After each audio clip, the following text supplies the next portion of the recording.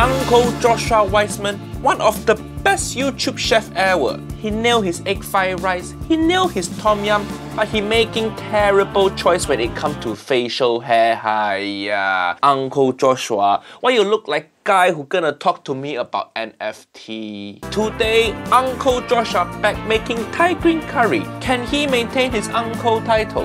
Let's see. Let's see.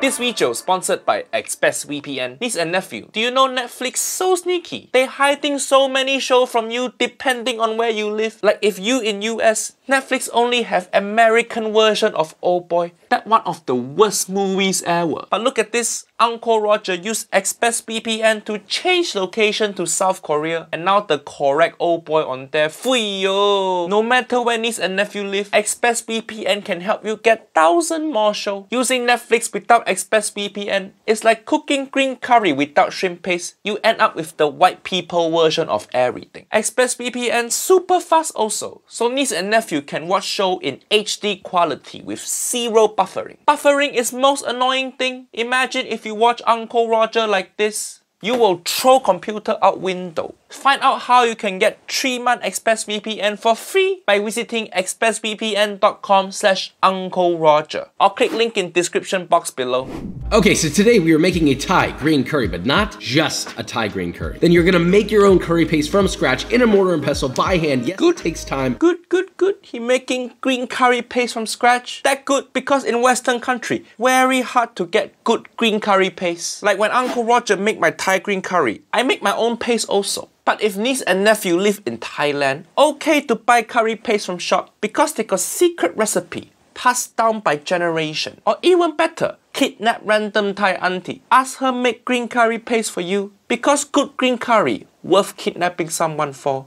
So start by combining 2 teaspoons or 4 grams of coriander seeds, 1 teaspoon coriander seed, correct? Cumin, correct? Or 3 grams of white peppercorns on a Correct, white peppercorn, correct? into an oven that's been preheated to 320. Hiya, oven for what? Just toast in pan, Uncle Joshua. Asian people, we just use oven as storage for pot and pan.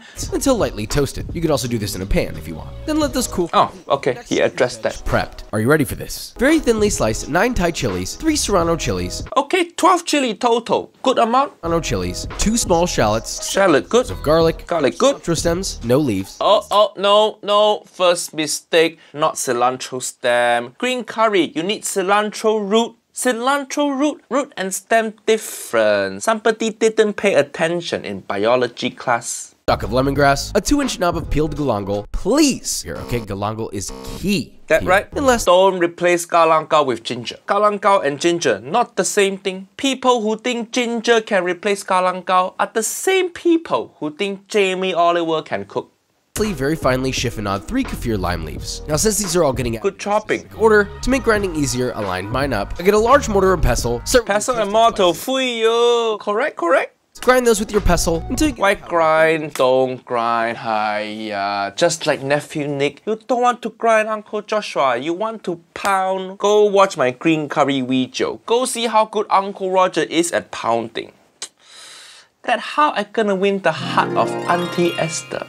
your pestle until you get a powder, then get a towel underneath because you're destroying your countertop. Follow that up with your sliced Thai chili. Good pounding should always destroy countertop. Grind those into a Ah, he pounding here? Okay, he pounding. serranos and really get in there and grind. Pounding. Wait, wait, that that it? He just pound two stroke and he finish. Feel bad for his girlfriend. Just two stroke. Hiya. Uncle Roger can pound at least twice as long.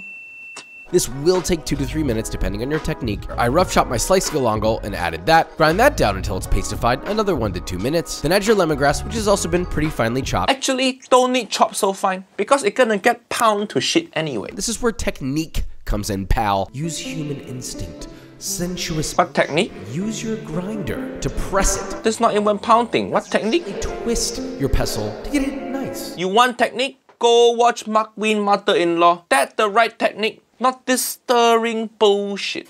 Till smooth, followed by coriander stem, also till smooth. Coriander root, Grind not stem. smooth. Your garlic. Grind it till smooth. Smooth. And last but not least, finish that off with a half teaspoon or four grams. Fuyo, correct, correct. Shrimp paste good and he used a lot. That's the right amount. Not the white amount. Good job, Uncle Joshua. Blending all that together, totaling in at around 15 to 20 minutes of grinding. Yes, it's tedious, but the effort turns into reward when everyone is moaning at the dinner table. Though moaning at dinner table, this cooking video, not only fan. You'll know it's smooth enough if you can form a ball. What he doing? Hey yo, it's the green curry This not play though. Don't play with your food, Uncle Joshua. This green curry look like my ex-wife before makeup. My god, can I have your autograph? So on to the easiest part, the curry. In a medium-sized pot, add 2 tablespoons or 28 milliliters. Okay, oil go in. It over medium heat until hot, hot, bing bang. Then add all of your curry paste. Wait, what? All of it. Curry paste already? No, no, no, Uncle Joshua, no. Green curry got two methods. First step, you either fry the coconut milk to split the oil out like how Uncle Roger do. Or you do more home style where you mix the curry paste in water and boil it like how McQueen mother-in-law do. You don't just stir fry the curry paste. Big mistake here. Cook that guy down, stirring often until it's relatively dried out and is starting to stick to the bottom of the pan about 3 to 4 minutes. Then stir in 5 cloves of very finely chopped garlic. Garlic. Cook for about 25 But you have garlic in your paste already. quarters of a cup or 177 milliliters of chicken stock Wait, chicken stock? No, chicken stock. or 177 milliliters of chicken stock. Chicken stock should not be first liquid in there. When the coconut milk gonna come? Uncle Roger waiting here half an hour now. Coconut milk still not here. Are you growing the coconut tree right now, Joshua? Why you wait so long for coconut milk? Where the coconut milk? Chicken stock we put near the end used to thin out the curry. Not the first thing that go in. Hiya. Curry paste. Then add 1 tablespoon or 17 grams of palm sugar and Palm sugar correct? Remember, don't use white sugar. White sugar for white people. Palm sugar and 2 tablespoons or 30 milliliters of fish sauce. Fish sauce good? Is dissolved, then add 1 13.5 ounce or 4 Finally, the coconut milk go in. milk, followed by 3 additional kaffir lime leaves. Bring that to a light simmer and reduce the heat to low. And if you want it ultra velvety smooth, then at this point you would blend it with a hand What? until as smooth as you like. No need hand. What? What he doing? No need hand blender. You already pound it. It's so smooth that just chicken stock and tree leaf in there. Blend what blend? He just trying to show off his blender or something.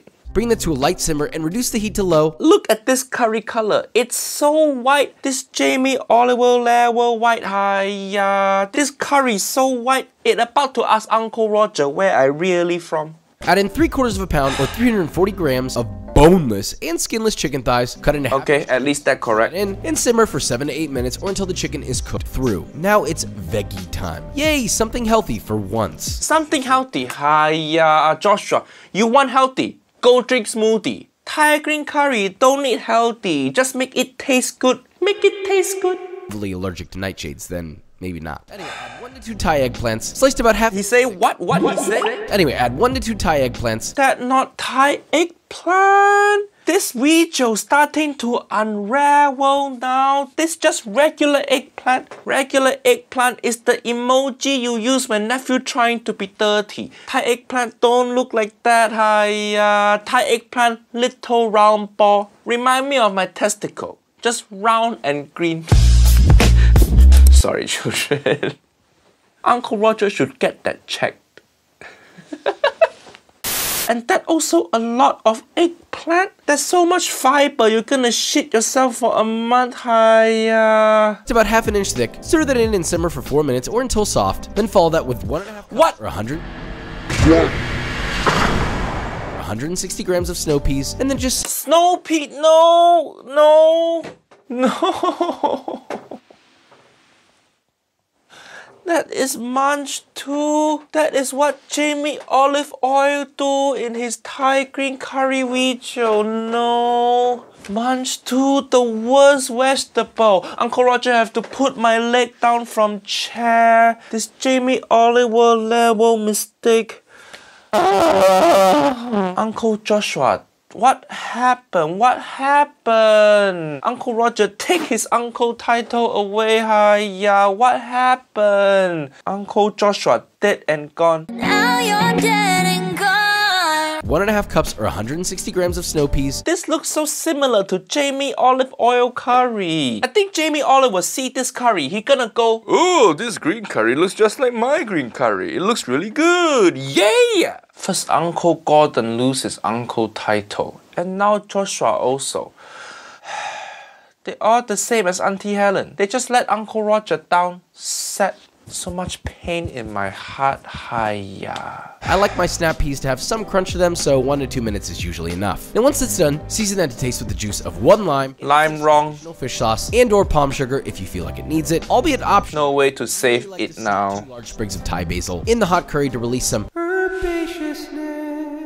Look at this. Look at this. Look more like vegetable soup. Hiya. Where the Thai green curry? Where?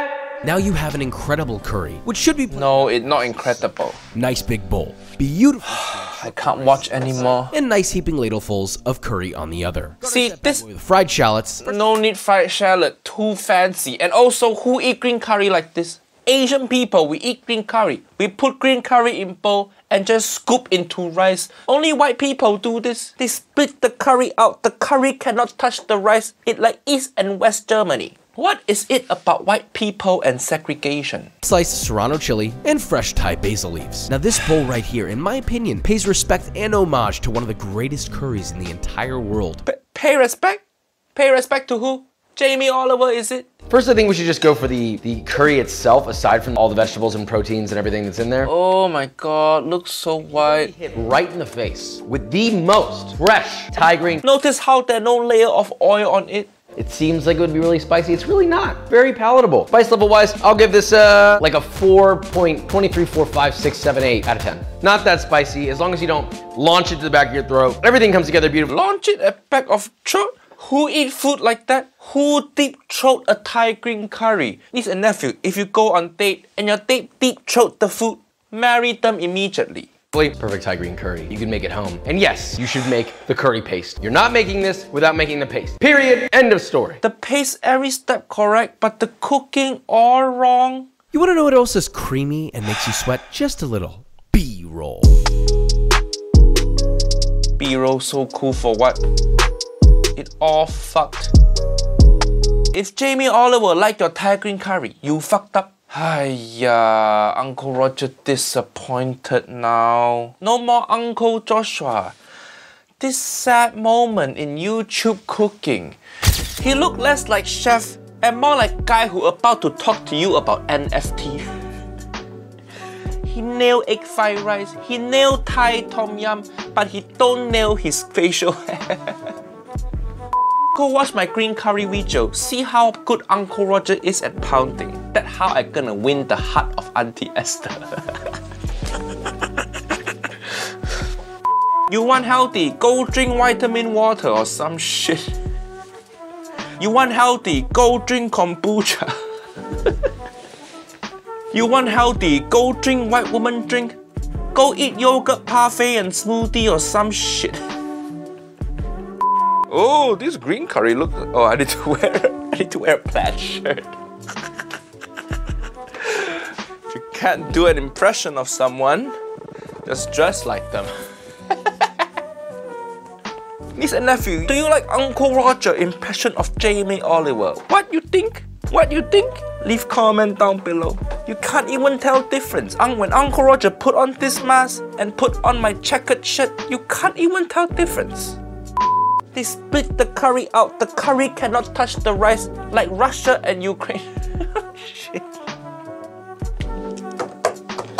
I gotta get into trouble for this one. Put in the bloopers.